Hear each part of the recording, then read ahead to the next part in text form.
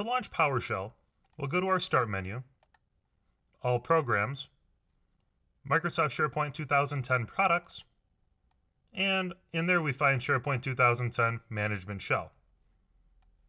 You'll see that I've pinned it to my Start menu, and that's because as administrators, we'll be using this program a lot. So let's run it as administrator.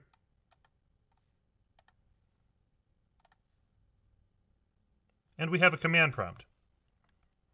If we're new to PowerShell, we might want to use the command get help. What get help will do is give us information about the commandlets that are available.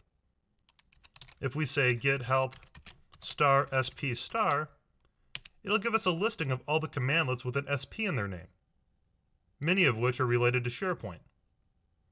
If we give it a specific commandlet, for instance, get help new sp web, it'll tell us the parameters we need to make ourselves a new site in SharePoint. SP web means site. Now we notice that one of the parameters is template. And to specify a template for our new Chemistry 600 site that we want to create, we're going to have to get ourselves a template variable. We can do so by saying dollar $sign template and set that equal to get sp web template with a certain parameter. In this case, it'll be STS pound 1. That's a blank site. Now we can use that to make our new Chemistry 600 site with that template. Before we create it, let's get a listing of all of the webs that exist under ABC University.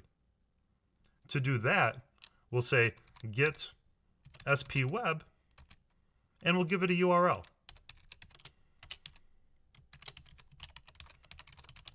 So ABC University slash star is what we want them to match. And we see Chem 101, Chem 500 courses, and so on. We'd like to add Chemistry 600. So to do that, we'll say new SP web. We'll give it a URL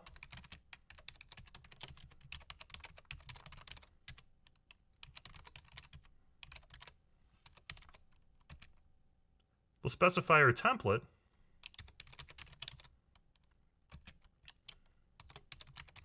with our variable. And for the title, we'll specify the name parameter.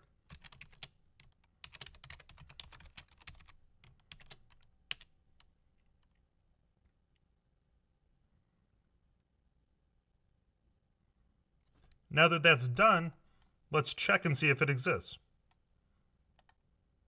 We go back to the web, we look inside courses, and we see Chemistry 600 now exists, and we use the blank site template.